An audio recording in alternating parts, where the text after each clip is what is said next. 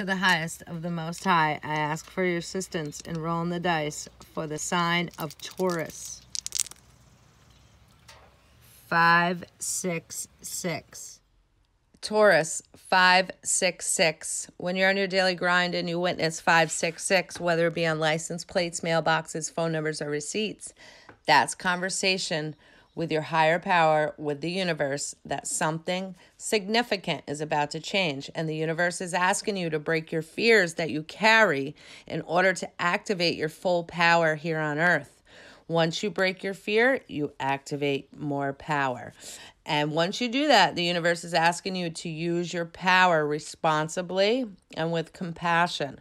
Remember, you are a mirror of your own reflection.